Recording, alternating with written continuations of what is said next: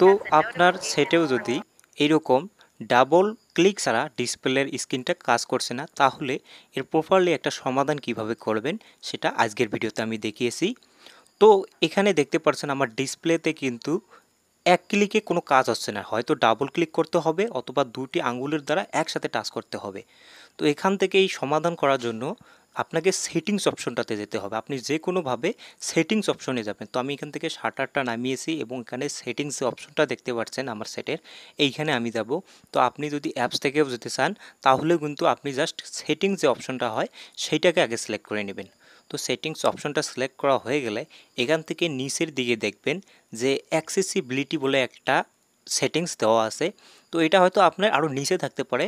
সেক্ষেত্রে দুই আঙ্গুল দিয়ে স্ক্রল করে নিচের দিকে দেখবেন এই এক্সেসিবিলিটি এই অপশনটাকে আপনাকে সিলেক্ট করে নিতে হবে। তো আমি এটা সিলেক্ট করে দেব, তারপর ডাবল টাচ করব। ডাবল টাচ করার পর এখান থেকে দেখতে পারবেন যে টেলব্যাক বলে একটা অপশন আছে। ঠিক এই টেলব্যাক অপশনটাতে আপনাকে কিন্তু সিলেক্ট করে নিতে হবে। প্রথমে একবার টাচ করে দেবেন, তারপর সিলেক্ট হয়ে যাবে এবং তারপর ডাবল টাচ করবেন। এখানে একসাথে দুইবার টাচ করে দিলে কিন্তু এই টেলব্যাক অপশনটা কিন্তু ওপেন হয়ে যাবে। তো একটু সমস্যা হচ্ছে, যার কারণ দুইবার টাচ করতে হয়, অনেক সময় হচ্ছে, অনেক সময় হচ্ছে না। তো আপনারা দেখেন, তারপর এখানে দেখতে পাবেন যে সার্ভিস যে ইউজ সার্ভিস এই এই অপশনটি চালু করা আছে তো এখান থেকে ওই অপশনটা অফ করে দিতে হবে। তার জন্য ওখানে টাচ করবেন তারপর এখানে দেখতে পারবেন একটা ওকে বাটন চলে আসছে। তো এই ওকে বাটনটা আগে আপনি সিলেক্ট করে নেবেন।